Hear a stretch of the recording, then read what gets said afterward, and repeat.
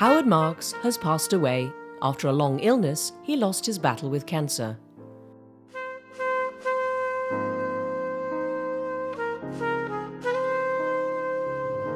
One of his last public appearances was in Amsterdam during the Cannabis Culture Awards.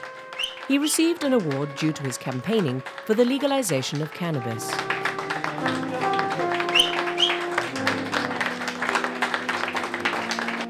Marks spent seven years in a high security prison in the United States, which changed his life. I think I emerged a far better person as a result of my prison sentence than, than the person who went in. Well, could you elaborate on that? Yes, of course. I, I just learned to, I suppose, look after people less fortunate than myself. And I think there's a certain spirituality and strength in doing that. I learned right. to help people. I learned to care about people. Yeah. Before I was just, you know, making money, smuggling, and living the high life, you know. I, I felt it, it did me a lot of good.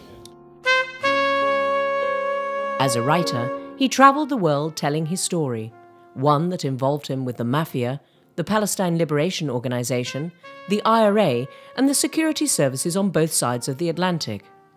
I was really just involved in smuggling. Yeah. yeah. I mean, now I've become interested in growing, but but uh, I, I smuggled, you know, from where it was to where it wasn't. I became quite a big dealer, quite quite big, and quite a big smuggler. So I lost touch with the streets quite a lot and sort of dealt with the mafia and kind of every criminal organization in the world.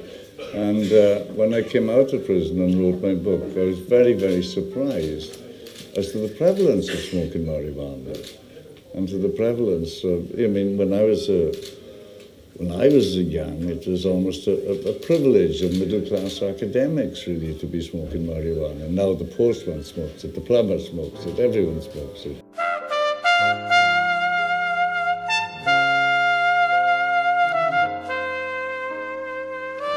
Main message to tell the world is to, I suppose, increase awareness and to take care of other people.